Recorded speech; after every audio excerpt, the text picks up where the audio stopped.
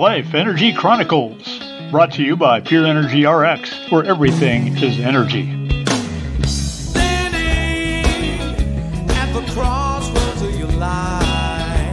You are the healer.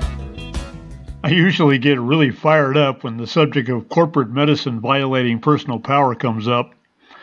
But I admirably held my tongue the other day when a musician friend of mine came to a gig all stooped over in obvious pain, looking pale and weak.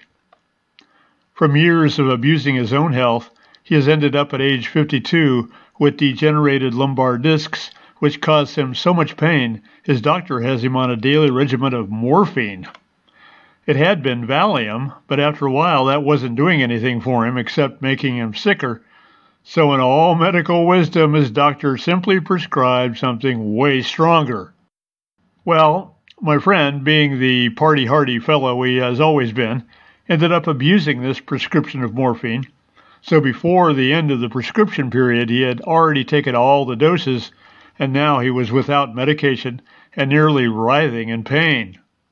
I remember several years ago, my musician friend told me that if he ended up getting lung cancer from smoking too much, liver damage from drinking while on prescription drugs, or incapacitated for any other reason, Modern medical science will just fix it, and he'd be fine.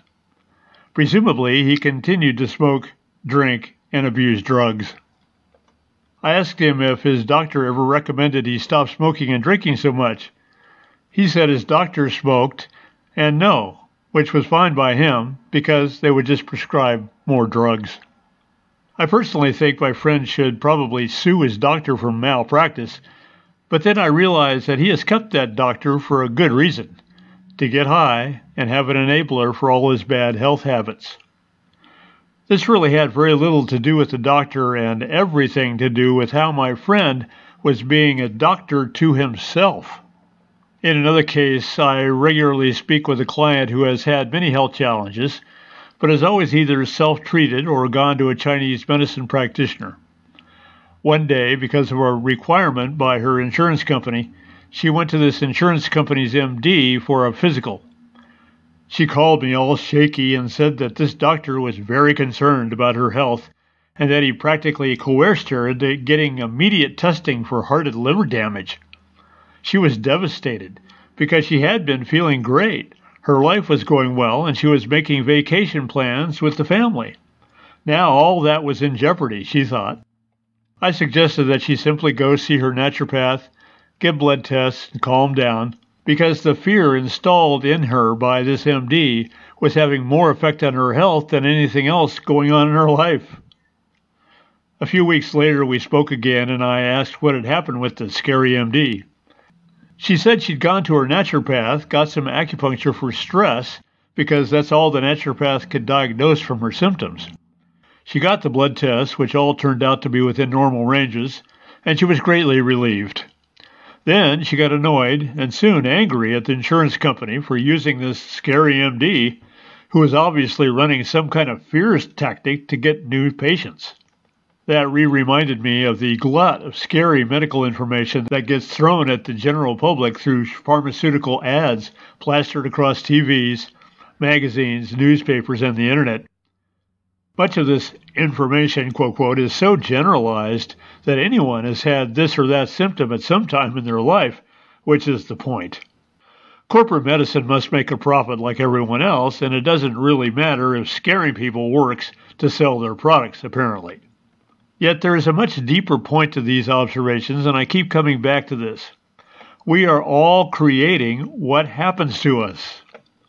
The trap in this, however, is that we have been convinced by life that we have limited or no effect on what we experience. We are afraid of what we might not know. And this is exactly what the experts, quote, quote, rely on to create fear in potential clients.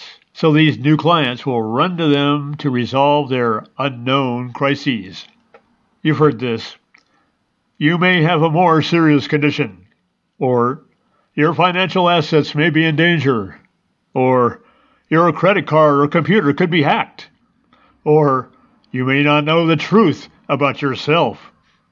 After a while, you come to believe that every moment carries some risk of fatality or incapacitating injury.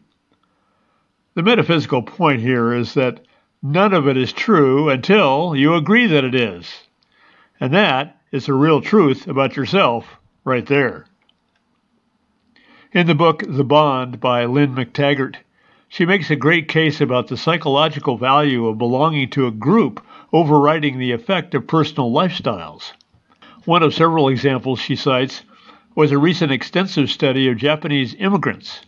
The study compared immigrants who maintained the traditional Japanese cultural behaviors within groups or communities doing the same against those immigrants who eschewed their traditional culture and embraced a new American set of values and behaviors.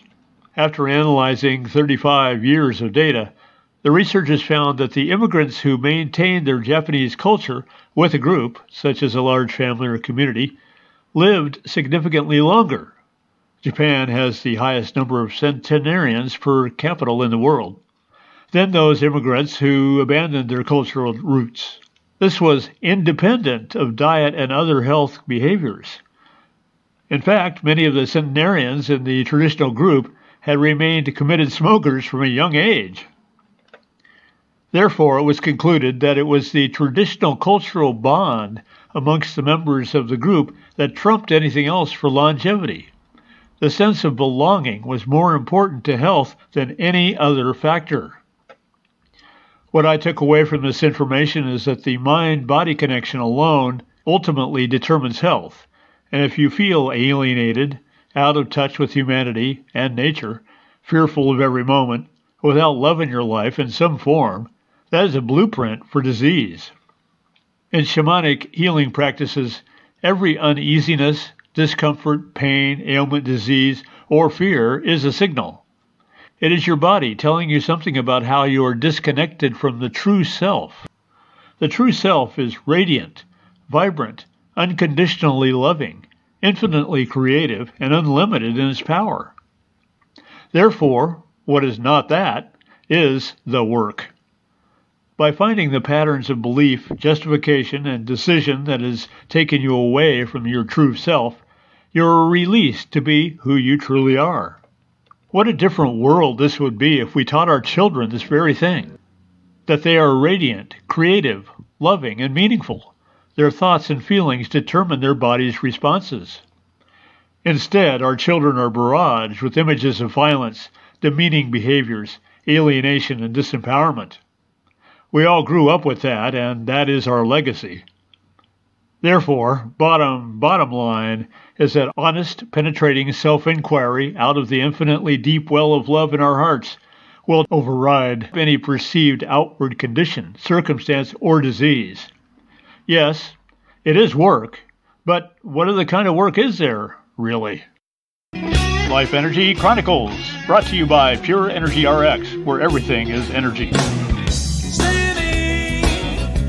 the crossroads of your life.